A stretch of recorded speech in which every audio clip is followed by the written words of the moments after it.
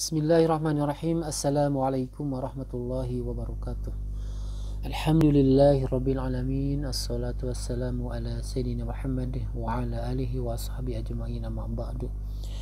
Allahumma inna nas'aluka ridhoka wal jannah Wa na'udzubika min sakhatika wal nar.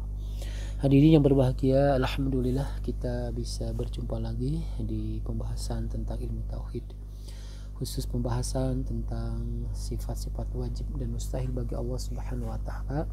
Semoga dengan mempelajari uh, ilmu tauhid hati kita semakin mantap, hati kita semakin lurus, semakin tulus ketika kita beribadah kepada Allah Subhanahu wa taala.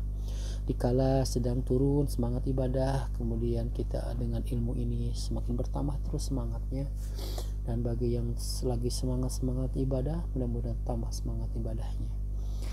Eh, pada kesempatan ini kita akan membahas satu sifat Allah Subhanahu wa taala yang wajib baginya yakni uh, sifat irodat yang memiliki lawannya adalah karoha. Irodat itu artinya Allah yang maha berkehendak, karoha berarti Allah yang tidak punya kehendak. Ya.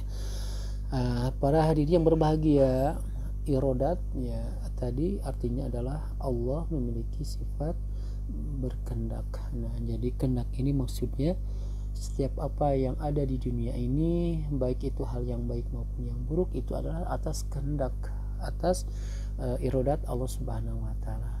Atas uh, harapan keinginan Allah Subhanahu wa taala. Jadi Allah Maha berkehendak. Tidak mungkin suatu yang terjadi di sini tanpa kehendak Allah Subhanahu wa taala. Jadi uh, itulah irodat Allah. Hanya irodat ini bicaranya adalah tentang apa yang terjadi ya bukan masalah baik dan buruknya. Kenapa Allah menciptakan sesuatu yang buruk? Nah, bisa jadi itu menjadi um, ujian bagi orang yang beriman ya. Jadi bukan berarti Allah itu um, menginginkan manusia dalam keburukan. Tidak. Justru dengan keburukan itulah Allah selalu menguji uh, manusia untuk meningkatkan keimanan keimanannya contoh saja misalnya uh, Rasulullah SAW itu kan ketika uh, berhadapan dengan kaum musyrikin waktu itu banyak yang mereka berbuat jahat, berbuat uh, zolim ya kepada Rasulullah Shallallahu Alaihi Wasallam. Ada yang melempari, bahkan ketika peperangan ada yang berusaha untuk membunuh baginda Rasulullah Shallallahu Alaihi Wasallam. Nah, semua yang terjadi itu atas kehendak Allah Subhanahu Wa Taala. Untuk apa? Saya untuk menguji keimanan, untuk menguji ketangguhan ketauhidan kita kepada Allah Subhanahu Wa Taala. Jadi semua yang ada di dunia ini adalah kehendak Allah Subhanahu wa taala. Nah, logikanya atau dalil logikanya kalau Allah tidak berkehendak ya tidak mungkin ada sesuatu yang terjadi apa pun yang ada di sekeliling kita.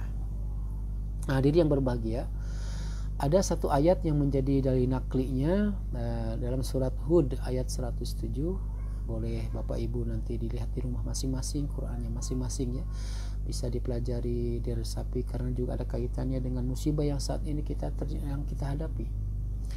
A'udzu billahi minasyaitonir rajim. Bismillahirrahmanirrahim. Wa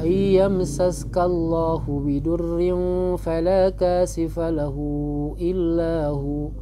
وإن يردك بخير فلا راد لفضله يصيب به من يشاء من عباده وهو الغفور الرحيم jadi kalau kita artikan uh, sebagai berikut dan jika Allah menimpakan suatu bencana kepadamu maka tidak ada yang dapat menghilangkannya kecuali Allah kecuali dia dan jika Allah menghendaki kebaikan bagi kamu, maka tidak ada yang dapat menolak karunia-Nya. Dia memberikan kebaikan kepada siapa saja yang dia kehendaki di antara hamba-hambanya. Dia maha pengampun dan maha penyayang. Nah, ini jelas ya kaitannya sekarang kita diuji oleh Allah dengan virus corona ya. Ini adalah sesuatu yang uh, datang semuanya dari Allah Subhanahu wa taala ya semuanya adalah atas keinginan kehendak Allah Subhanahu wa taala. Nah, dan mudah bagi Allah, mudah bagi Allah mencabutnya. Ya, kalau Allah menghendaki uh, kun fayakun.